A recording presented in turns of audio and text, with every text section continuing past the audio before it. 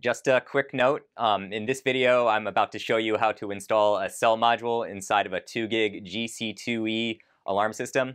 Uh, and when I went to do this, um, we actually had the system powered on and I, I, already had the cell module installed, but at the spur of the moment, I decided to take it out so you could see the port, and then I put it back in without powering down the panel. Uh, that's a big no-no. Uh, this unfortunately fried our 2 gig GC2E system, and now we are going to have to replace it with the new one. Um, so just a, a warning for all of you, serious warning, make sure to power down your system fully before you ever install a cellular communicator. Uh, you have to disconnect the backup battery and disconnect the uh, transformer. Make sure it's fully powered down, then install the cellular communicator. Don't do what I did. Make sure your system doesn't break. Hi DIYers, this is Michael from AlarmGrid, and today I'm going to show you how to install a cellular communicator inside a 2 gig GC2E security system. Now we actually have a cellular communicator already installed in the system, but I'm going to be opening it up and showing you how it is installed. Uh, but before I do that, I'm going to talk about the purpose of a cellular communicator. Uh, this system does not have built-in Wi-Fi, so it relies on a cellular communicator for sending out signals such as alarm signals, or if um, a Z-wave transmission needs to go through, um, it's going to communicate through cellular communication. Um, and it allows it to communicate with the alarm.com servers, uh, which can then forward alerts to the end user and or a central monitoring station, depending on what type of monitoring plan you have. And you're going to want to have a monitoring plan with this, otherwise it will just be a local sounder and the cellular communicator will not be activated and it will not work. And if you're adding a cellular communicator to the system, we recommend uh, getting an LTE model. Um, LTE networks are expected to be kept in service for a very, very long time. And with the uh, 3G CDMA sunsets, uh, those older communicators won't work anymore. Um, so make sure you get an LTE communicator. Uh, the GC2E actually uses the same cellular communicators as what you would use on a 2 gig Go controlled GC2.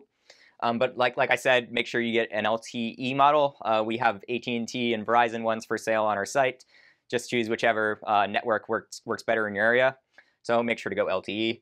Um, but the process for installing the communicator is pretty simple. Uh, you have to open up panel, which I'm going to demonstrate now. Uh, so you just take um, this front plate off, you kind of just get your fingernail under there and pull it off, it pops off. And then the tricky part is um, uh, taking this off. Um, you see this unlock before opening. We didn't have to do anything with that, um, but if yours is locked, you can release it there, and that's, that's how you would get inside it. So you just kind of stick your flathead screwdriver in there. Uh, to where it comes out. And I believe I got the first one, didn't I? Okay, we'll do that. And um, let's see, nope, didn't get it quite yet. Just gotta get this one in there. And actually, I think I missed the other one as well, so we're just gonna go and um, that. There we go. We got the tamper cover so we know it's open. and you just kind of get it in there. There we go, got it open. So, uh, here's the inside of the 2 gig GC2E. And um, this right here, this portion, is the cellular communicator. And uh, it actually has two screws um, that we connect in there. Um, it has a port at the bottom. Um, you know what, I'm just to go and show you what it looks like actually. Um, so bear with me one second. Got to flip our screwdriver around real quick. And uh, so it's a Phillips head, see, magic like that. And uh, if I undo these screws here, then I can show you what it looks like. We'll speed this up for you. Okay, so we undid our screws um, to be able to remove the cellular communication. Um, to be able to remove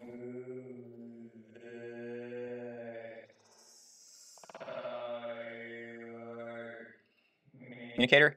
And as you can see, it has this uh, nice uh, port. Uh, that's the male section. That's the female section right there. And you can just uh, go and plug it in. You just make sure it clicks into place. Um, there you go. See, it locks into place like that. Now, uh, your communicator will likely also have an antenna. Um, some use multiple uh, antenna ports. This one only has one. And you can see the antenna. We'll bring it out here for a second. Um, here's the other end of the antenna and you just want to slide it through the backplate and stick it somewhere where it can get good cell signal. Uh, you don't stick it in here, which although that fits really nicely, um, that's not the antenna port. You just want to slide it through the backplate like so. And um, so you just kind of um, click it into the port, and then you can go and do the screws, which I'll do right now. And again, we'll speed this up.